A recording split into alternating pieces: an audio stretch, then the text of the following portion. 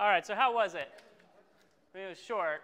We were running around, but place is interesting, right? Did you guys get a chance to talk to some of the makers in the space? Yeah. Um, I want to start out by saying thank you to Ruben, uh, who I think just stepped out the back, but uh, Ruben bumped into a, a, buddy of mine named Patrick. I think they sat next to each other on a plane flight home, and Patrick went, "You have to come here." Yeah, there you are. Coincidence, serendipity, and much of what that place is about is, I heard a friend call it last week, a petri dish of serendipity. Right? It is all of these different people from different walks of life, different backgrounds, and different ways of thinking about the world occupying the same space and sharing that knowledge, sharing that information that they have. So the question becomes what would you want to build? Right? If you came here, what would you be interested in building?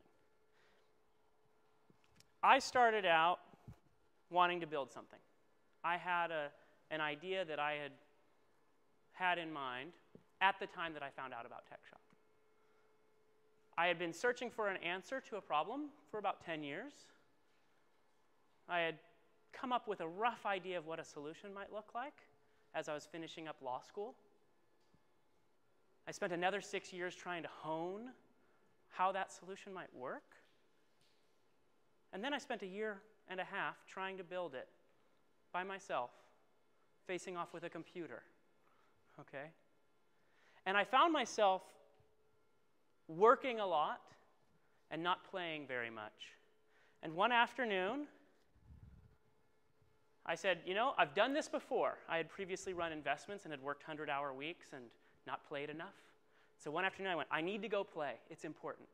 And I went into the back and I had a piece of plywood and I took a, a jigsaw and I drew a, a shape on a piece of paper and I laid it down and I cut and I cut and I drew and I drew. And I just went and took that jigsaw and I cut out out of a piece of plywood, a shape for a skateboard. Now, I had never made a skateboard that was this shape before, but I had made a good number of skateboards in my life of this simple plywood variety. And after I shaped it, I drilled some holes. They weren't all in the right place, as you can see. and I tried it. And I came back and I said, well, that, was, that doesn't turn quite how I wanted to. And So I drilled some more holes. And I went and I skated around. Right? And I skated around my neighborhood for about 15 minutes. And I went, that is awesome. I had been avoiding coming to Tech Shop like the plague. This place felt like the biggest distraction in the world for me. I had this very important thing I wanted to create. Coming here would have me doing other things, right? Things like a couple weeks ago, I took a wood lathe class, and I came back the next day, and I had purchased a $2 block of 4x4 redwood. And I put it into the thing, and I was thinking, I'm going to make a cup. I think, yeah, maybe I'll make, I'm just going to learn how to scrape away wood until it becomes something. And within a few minutes, I realized this, is, this long piece of thing is not going to be a cup. but it kind of looks like it could be a baseball bat. And five hours later, you know, I'm new, okay, I'm not very good. Five hours later, I had a baseball bat. Now, it's not a great baseball bat. It's got some undulation, and, but it kind of, it's kind of a baseball bat. The next thing I'm going to build, Jared and I were driving the other day going surfing. You guys got to meet Jared this morning. And I said, ooh, ooh, ooh, pull over, pull over. This was on the side of the road. Now, you might not get as excited about this, but I got excited because I had just taken the wood lathe class, right? And I wanted a salad bowl. I wanted to make a large, beautiful, organic salad bowl. And to do that, you need something like this. Now, this could be terrible wood. I have no idea. I'm a rookie right? But this is my next thing that I'm going to build at TechShop.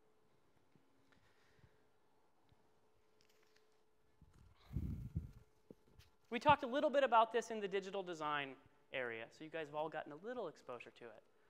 But my belief is that the difference that makes a difference, the thing that has enabled humans to outcompete every other species on our planet, is our ability to collaborate and coordinate, our ability to build upon one another's contributions, our ability to share knowledge.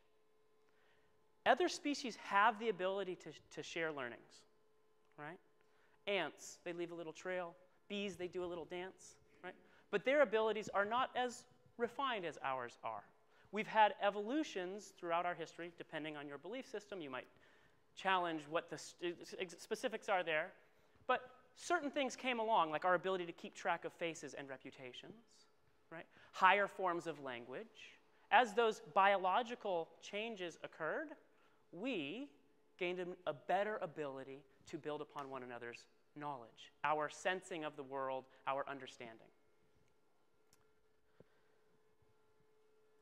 We've also had technologies that have helped us in that way. Writing, suddenly you can't just tell somebody something, you can share that knowledge over time and at a distance. We've got printing, do that same thing at scale. Radio, instantaneous information. TV, instantaneous information with video, right? The internet. The internet is the primary driver of change in our world today. Anybody disagree about that? Does that seem Pretty reasonable, right? Why is it driving change? What has the internet allowed us to do?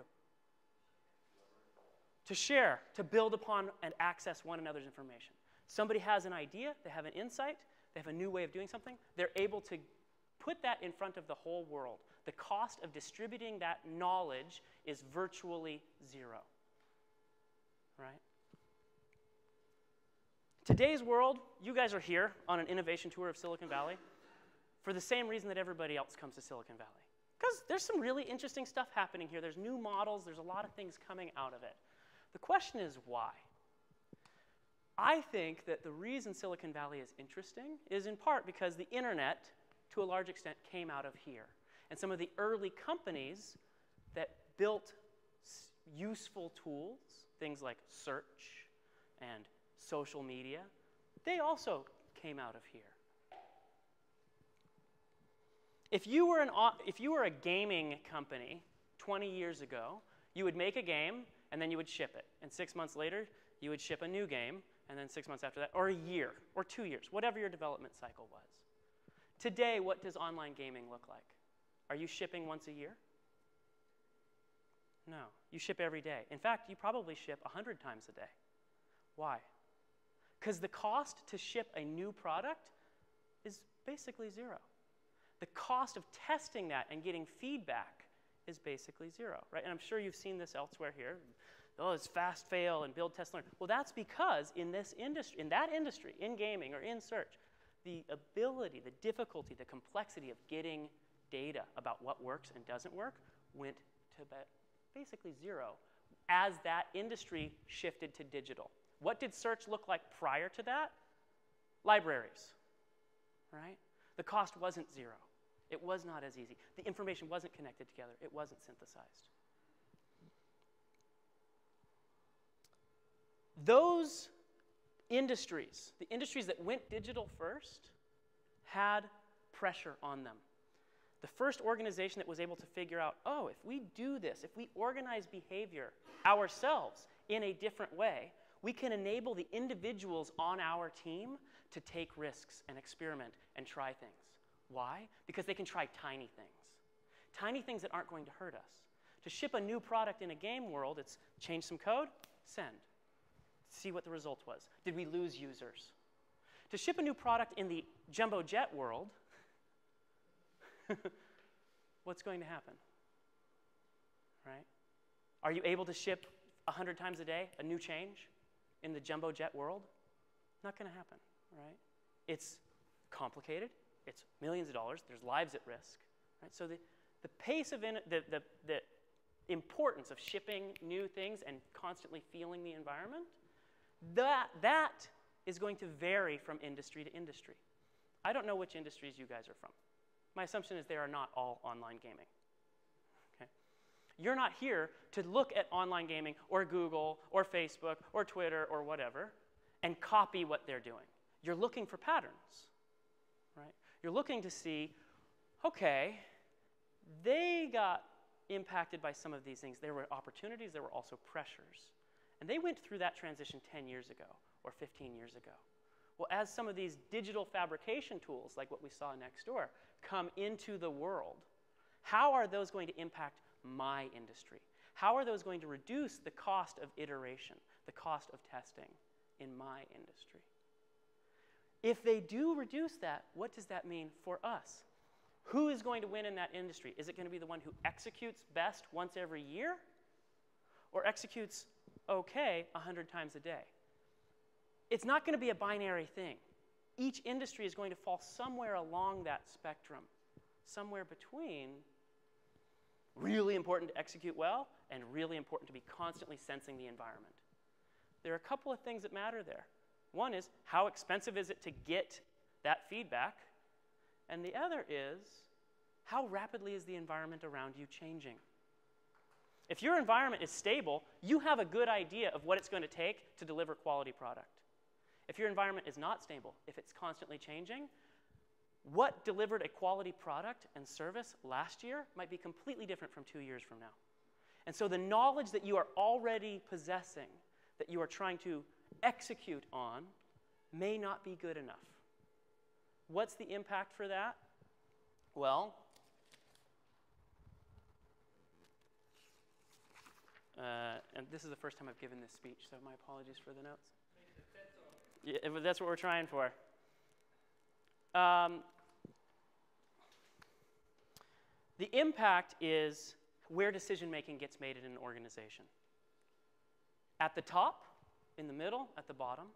Right? How many of you have tried something new in your company over the last five years? Okay.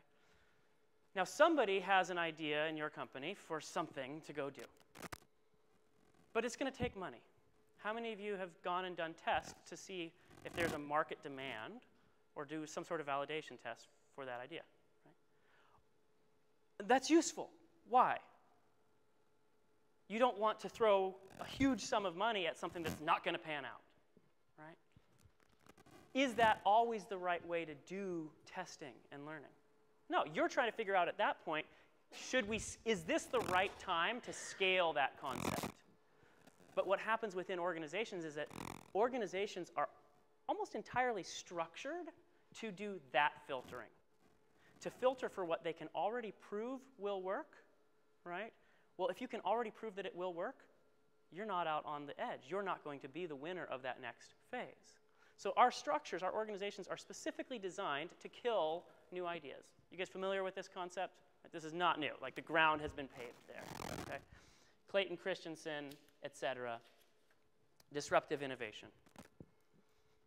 So market validation is good for scaling decisions, but it kills innovation.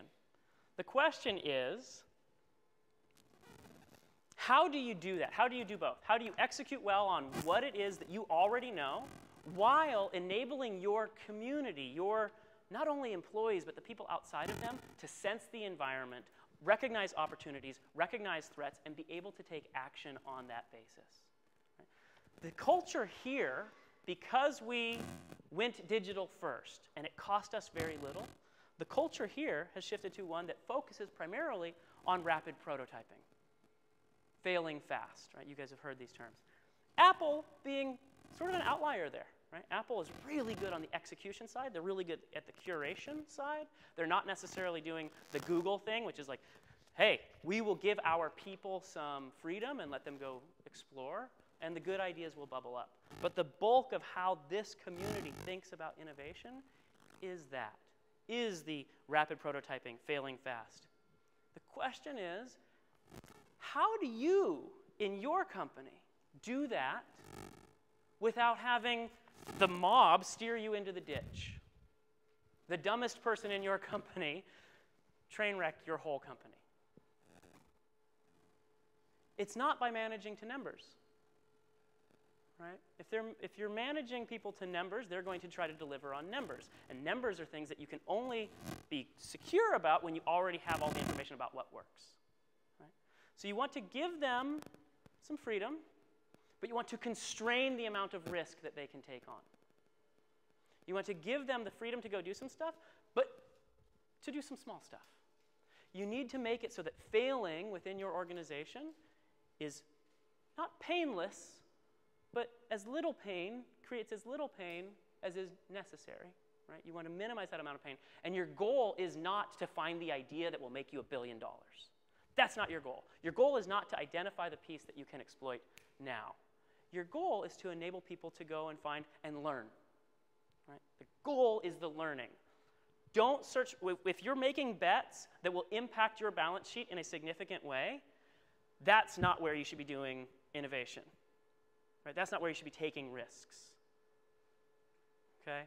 You, the CTO of Autodesk, the guys who made that Tinkercad software we saw today, he describes R&D as risk and determination. Risk, right? The uh, research, the risk side, that's where you want to go and feel, and, and hopefully those are small, right? And determination, that's the execute. Hey, we found one we think has legs. Let's go forward and, and, and put some, some real resources behind that. And that scales up as you gain more knowledge about what the market is willing to pay, what the demand is, what the opportunities are there. Everybody inside of your organization is a sensor. Everybody outside your organization is a sensor. They are feeling the environment. The basis of capitalism and democracy is that concept, right? Like, we do better, we steer better as a group, as a society, when individuals are empowered. That's how the consumption side works. You get to decide which products you want to go buy. That's how the investment side works. You get to decide which companies you want to go invest in. But in order for people to be able to accurately assess which companies might be good to invest in, you have to be able to compare apples to apples. Right? If your investor is looking at one company, they say, We made a million dollars last year. And they look at another company, they say, We made a million dollars last year too. But they're counting that in completely different ways. Your investor community is not going to be able to steer resources very efficiently. So we came up with some rules. You guys are pretty familiar with these rules? Right? Securities regulations, accounting standards, et etc. And that is to enable that community to do distributed decision making. What's the impact on firms? If that firm is being measured by this stick that measures one thing profit, shareholder value on a quarterly basis, what happens to decision making within your firm? There's major pressure for that to be centralized, for that to come from the top and down. And you've seen companies that do it well, right? Usually, what they're doing is something different. They are, the management team is willing to withstand the preferences of the investor market, right? And demand something that they know is better. How can you steer your organization? How can you allow all of your different people to go and experiment and yet get a consistent and excellent product or service? Question, answers. I mean, you guys know this one already, I'm sure. What's the mechanism that you can rely upon to deliver that consistent service while pushing power down, while empowering everybody in your organization. It's culture, right? This is not new. People have been talking about this shit in business books forever. Okay? Simon Sinek talks about start with why. Why is it that you are here? What are the ways that we want our people to show up and behave? How do we uh, take on the world? What is it that we care about? What is it that we are passionate about? When you know your why, when you have your mission clear and you have your values clear, the people in your organization are able to hold one another to account for behaving in the right ways. Sometimes they will fail. You want them to fail. You want them to take risks, but you want them to take risks for the right reasons. You can manage the way that they behave rather than the results that came about.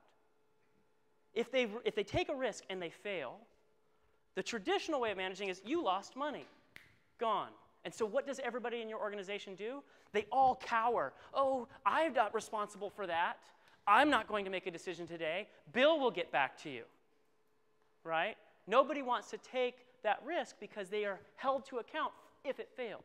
They haven't been given the freedom to do that type of experimentation. Um, so I would encourage you to empower the people within your organizations, to give them that safety, to unlock their creativity, right? What Google does, they have a whole business model around this, right? They hire, they don't just give people 20% extra time, because it's really 120% time is how it's referred to here. Okay, it's not 20% time, it's 120, because they still have to do all their work, and then you also get to work on whatever else you want to regardless. Their whole business model has been built around that. Their, their shareholders expect them to be innovative, they expect their people to have that kind of freedom, et cetera. So you guys are not going to become Google. That's not the goal. Right? But you can learn some stuff from them. What do they gain from that freedom? Well, their people have the permission to go and grab someone else and pull them in on a project that they're just interested in, that they just want to do. When was the last time that you felt alive? Skiing? Negotiating a deal? Mountaineering? Okay. What was it? Cycling the Golden Gate Bridge. When was that? A few days ago. Okay, right. We, how many of you are familiar with the term flow?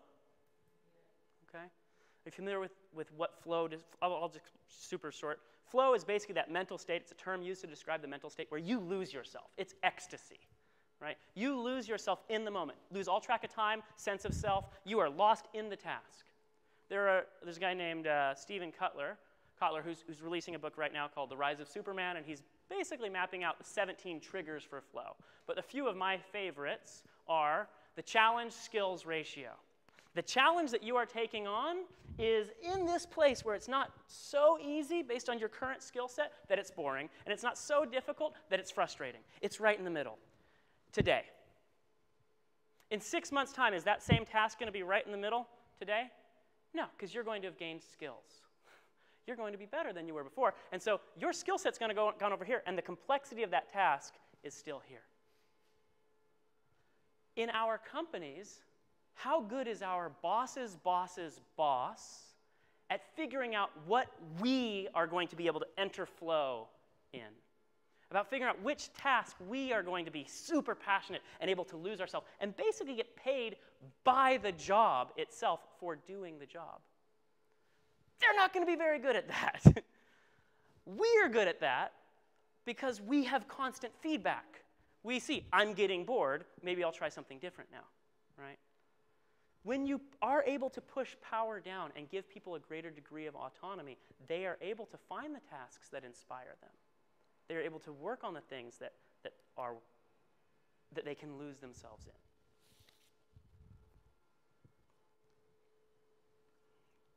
So I would urge you, as I mentioned before, if you want exponential results, unlock the creativity of your people. Uh, we talked about consistent product or service coming as a result of culture. I want to talk about what culture is and what it isn't. Culture isn't a mission statement on a website. Culture isn't a constitution. Culture isn't something written in the United Nations Charter of Human Rights. Culture is more important than law. This was one of my first epiphanies during law school. Laws are words. Words do not have inherent meaning. Right? Words are just words, and we interpret them. Each of us interprets them, and sometimes we interpret them in different ways. And that's okay. That's how humans work. We will never get beyond that. Not going to happen. We will never see the world all exactly the same. That's not even the goal. What culture is, what law is, Law is there to help us sort of come to some sort of agreement about how we think people should behave. It's something that should influence culture. But the way we actually get results is the culture itself. Whether that culture is the way that the cop on the street enforces that law, or what the judge says when he says, No, officer, you did it wrong. Or when the people go, Hey, the cops and the judges and the politicians, they're, they're wrong. They've got it backwards, and they riot, and they burn houses, and they attack the government. If your people aren't willing to stand up and fight for a specific implementation, if they aren't willing to demand that other humans behave in a certain way, you don't get that way of behaving. Right? Culture delivers. The difference between America and Western Europe and places where there is rife corruption is not because they don't have laws that say corruption is wrong. It's because they don't have cultures that enforce a specific kind of behavior. Right? There are cultural differences there.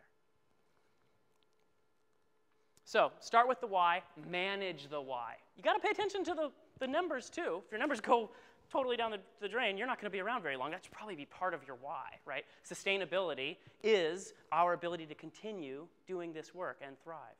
Our ability to, if we, if we wither and die, we didn't do a very good job of creating value and of extracting that value. Want Hannah Arendt was a theorist. Are you familiar with her at all? Philosopher. She wrote a book after World War II um, after Eichmann was uh, tried in Jerusalem. And what she said, and it was very controversial at the time, what she said was, This man is not evil. This is a guy who was basically being blamed for the deaths of you know, a substantial, popul- substantial portion of Europe, okay? the deaths of those people. And what she said was, he was an individual, a bureaucrat, operating within a system. And he said, No, I was just, you know, filing the papers. That was all I did. I was filing the papers. Somebody else was responsible for that. And she recognized that he was right. That this is actually the danger of bureaucracy. That if we are taking actions within an organization and we become divorced from and refuse to take responsibility, if we are not responsive to the results that come out of that culture, we get the Holocaust. We get 2008. Right? What happened in the banking culture through the 2000s? There were lots of people going, I know this deal is bad. I know this is destructive. It doesn't matter. If I don't take it, somebody else is going to. My firm's going to collapse. So everybody's passing bad stuff. They recognized that they were doing pro- something problematic, but they also recognized that they could cash out. And later on, nobody would know. They would still have their dollars. They'd be able to go and spend time on the yacht. If you do not stand up if the people in your organization do not stand up for what they think is right, you don't get that other thing. Right? All you get is what people are willing to demand. Okay, I will, I will try to make it very brief then. Thank you. At 18, I had grown up moving around the world, realized that the world was broken. But it wasn't broken because we have bad people doing bad things. It was broken because our institutions are not structured in a way that serves us. It was broken because our institutions are structured in ways that serve they, they serve a specific group of interests in each of those cases, right? We all have problems. If you look at the Soviet Union versus the United States back in the Cold War, the United States and the Western Europe and the, basically the free societies, they outcompeted because they were able to better distribute knowledge and coordinate and collaborate. Right? If you looked at the Soviet Union, you had centralized planning. They weren't able to leverage all of that information, all of that knowledge. They couldn't take it into account and make use of it. As I was wrapping up law school, I realized that traditionally societies had regulated themselves on the basis of reputation. We do it really well in small groups. But as our populations expanded and our trade expanded, we, did, we interacted with strangers more and more. That reputation system broke down. And the strangers that we interacted with, they had different values than we have. And so we had pluralism. We disagreed about what was appropriate behavior. In light of that complexity, we built new systems, laws, etc., right, to formalize how we should behave. We created contracts, we created courts to enforce those contracts. This allowed us to try to get something, but there are problems with that system as well. Coming out of law school, I realized the internet today is already allowing us to share reputation at scale. You look at eBay, you look at credit scores. eBay.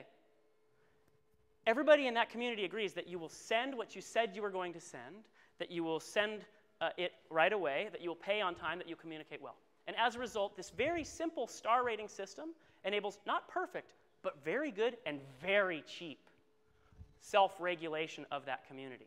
You get good behavior in that community because people can punish bad actors.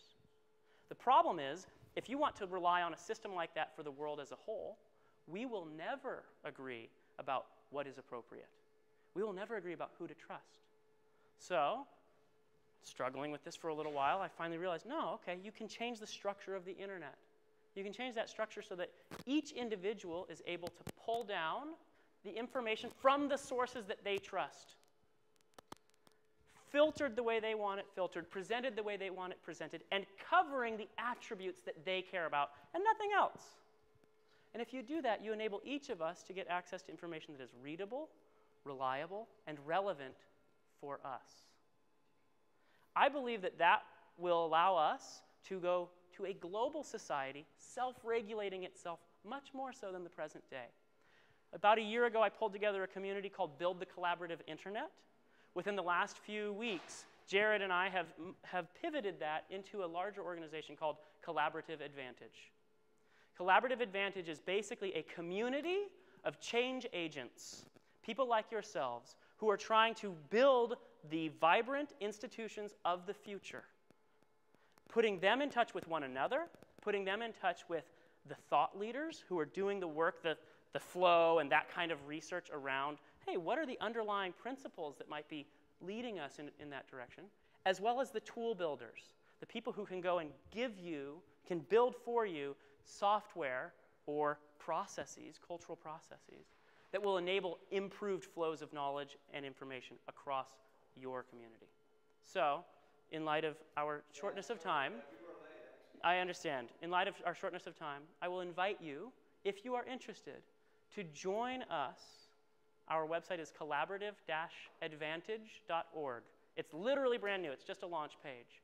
But we're trying to pull in the most interesting and rebellious institutions on the planet so that they can lead us to a better world. I believe our world is broken, but we can fix it together.